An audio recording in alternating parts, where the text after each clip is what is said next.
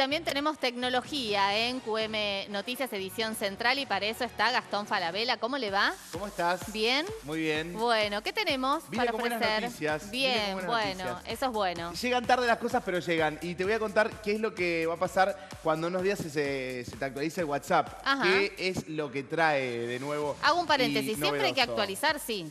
Siempre hay que actualizar, conviene Bien. para, para empezar a disfrutar de, de los beneficios, para empezar a usar cosas nuevas y también porque muchas veces ellos mandan las versiones y los usuarios van reportando errores que Claro. ellos van corrigiendo sobre la marcha. Viste que los que no tenemos mucho vínculo con la tecnología a veces dudamos, decimos, ¿qué Sí, hacemos? no, pero vos siempre Actualizamos, bien. Sí, es, es lo más sano. bien, en cualquier momento viene la actualización WhatsApp. Sí, ya está, ya está lista, está la versión beta, Ajá. que es versiones que vos te podés descargar para ir probándolo, para ir viendo qué pasa, si te gusta y demás, eh, y si te manejás dentro del código. Y para nosotros, los usuarios comunes, bueno, va a llegar en, en un par de semanas. Bien. Esta es la principal novedad que vamos a tener con esta actualización de WhatsApp. Sí. Las videollamadas. Ajá. Se terminó la nota de voz, eh, se terminó la, la- O sea, podemos seguir mandando nota de voz, podemos seguir haciendo llamadas a través de WhatsApp. La nota de voz fue desplazando al texto, eso es...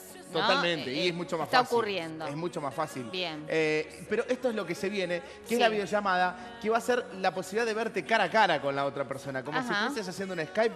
O sea, en realidad no viene a presentar nada nuevo. Ah, no vas a mandar videos, sino que va a haber interacción. Interacción en vivo con la otra, con la otra persona. Bien. O sea, eh, hay que tener en cuenta algunas cosas. Primero, que en Argentina no tenemos la red 4G ni 3G Se nos va a ir un poquito la imagen. o sea, se nos cortan las llamadas en la calle. Imagínate que tampoco Claro. vamos a tener una excelente recepción de video. Pero ¿qué cosas nos va a permitir? Porque esto se puede hacer por Skype, pero el Skype es un software que en Argentina no ha tenido mucho éxito, la gente no lo ha descargado Ya mucho. podemos desinstalarlo, Sí, entonces. se puede Sí. desinstalar. Entonces, pero por ejemplo, tenés un familiar que vive lejos. Sí. Viste que antes era, bueno, voy hasta la compu. Tengo un familiar que vive en Armenia. En Armenia. Bueno, Mi te tenés hermano. que sentar la notebook, Claro. Abrir el Skype. Bueno, esto lo vas a tener acá Bien. en la aplicación que usas todos los días para comunicarte, que es el WhatsApp.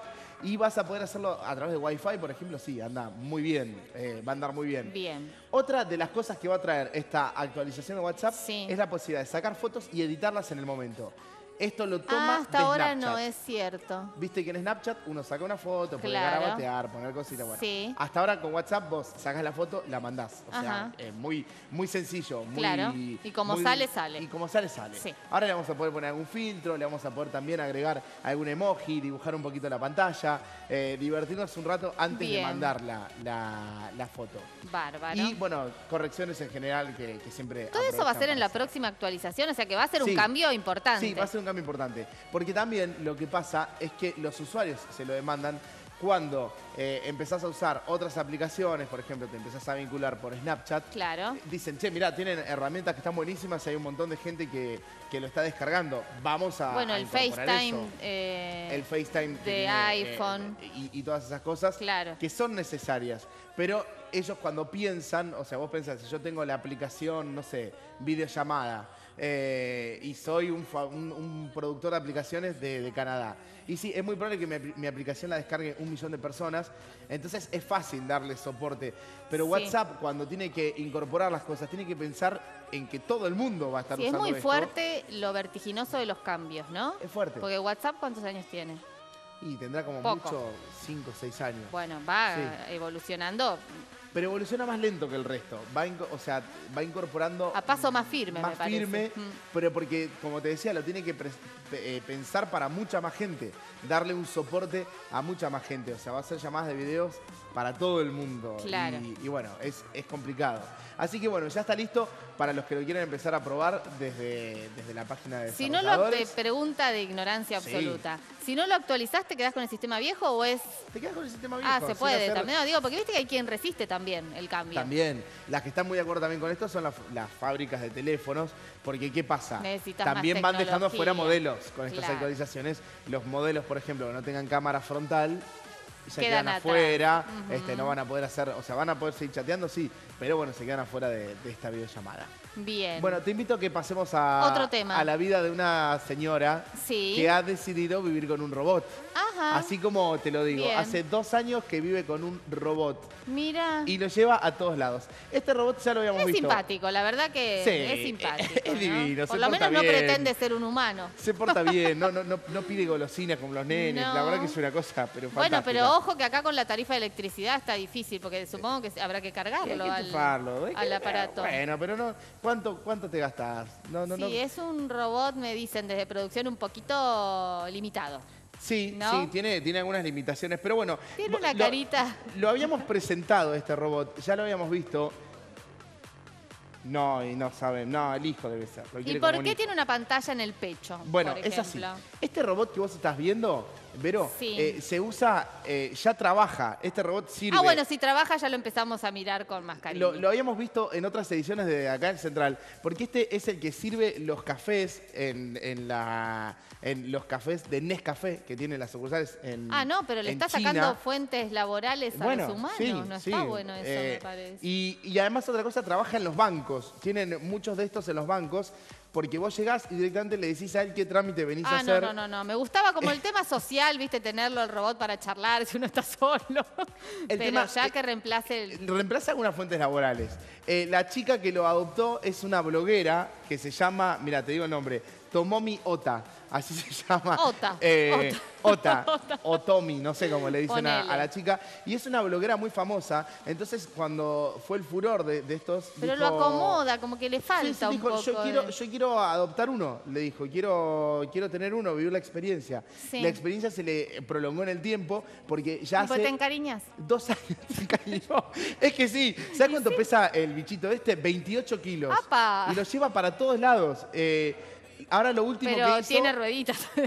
Lo lleva en un carrito, en un carrito que, que vimos recién. Ajá. Eh, otra cosa que hace, que es impresionante, le modificó la, la aplicación que lo maneja Ajá. para poder llevarlo al templo y que pueda juntar las, las manos. las manitos, Sí, mira. le- le bueno, que no vaya al templo del Mar del Plata. No, que no, a, a ese le recomendamos que no. Va a tener Así que problemas. a través de una aplicación le enseñó a juntar las manos y la última Está hazaña... como, en las imágenes está como un poco desorientado el robot, ¿no? Como diciendo, ¿qué hago acá?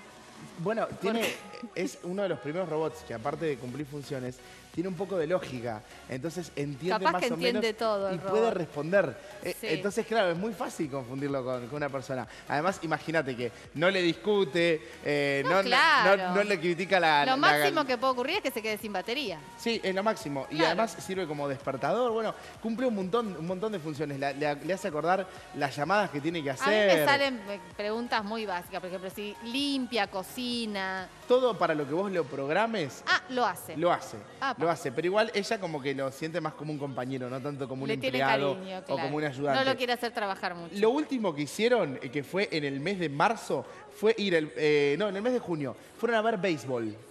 Lo llevó, o sea, lo metió en el carrito, lo cargó, 28 kilos pesa eh, el, el Sí, hay que robot llevarlo, este, sí. Y lo sentó en una butaca para que vea el partido junto con ella.